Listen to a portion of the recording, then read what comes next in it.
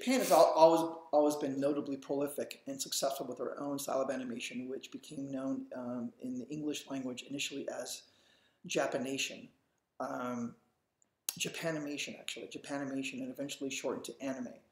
Uh, in general, anime was developed with limited um, animation techniques that really put more emphasis on aesthetic and composition other than movement.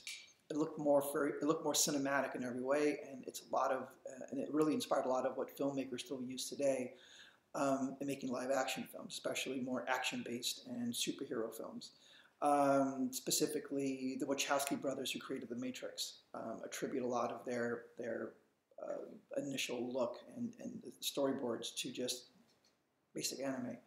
In the 60s, several um, anime shows got played in the US and other countries, including Astro Boy and Mach Go Go Go, also known as Speed Racer, which, which incidentally got uh, made uh, into a live action film by the Wachowski brothers um, in 2008, which I really didn't like. Um, so now we're getting to the 60s. So the anti-establishment countercultural boom at the end of the 60s and 70s, uh, in the 60s, uh, starting into the 70s, obviously impacted Hollywood in general. Um, and it had a very significant impact on animation.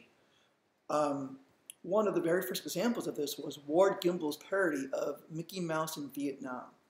The less uh, political parody, Bambi Meets Godzilla by Marv Newland, is considered a classic. Um, I'm not going to play it, but if you get a chance, go watch that.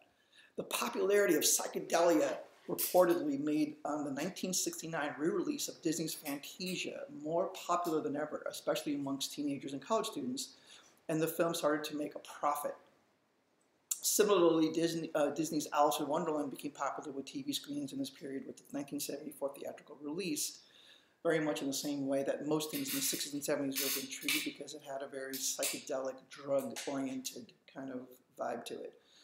Um, also very influential and part of this uh, era of this kind of psychedelia revolution, the Beatles animated feature film Yellow Submarine, which came out in 1968, showcased, showcased um, a, really hip, um, very modern, you know, trippy um, look at um, a Dis, uh, uh, obviously a very, uh, be, uh, you know, taking the Beatles to a whole new level in, in their songs and kind of storytelling about like going kind of inside their music.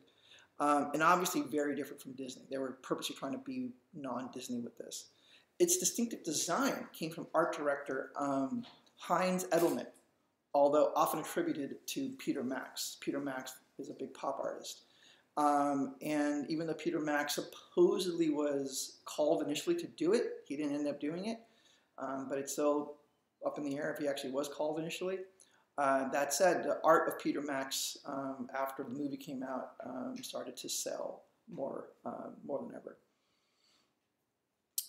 Ralph Bakshi um, um, thought that the idea of grown men sitting in cubicles drawing butterflies floating over a field of flowers while American planes are dropping bombs in Vietnam and kids are marching in the streets is ludicrous.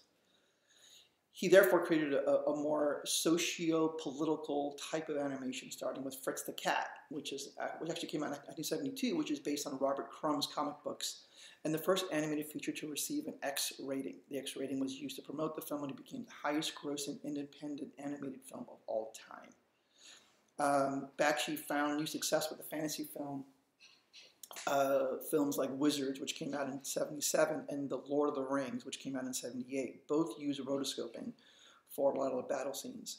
Um, in fact, there's a lot of animation um, techniques that came out of what he was doing at the time, specifically The Lord of the Rings. And um, Bakshi described what he was going for was real illustration as opposed to cartoons for a film that he wanted to be really, really true to Tolkien's work.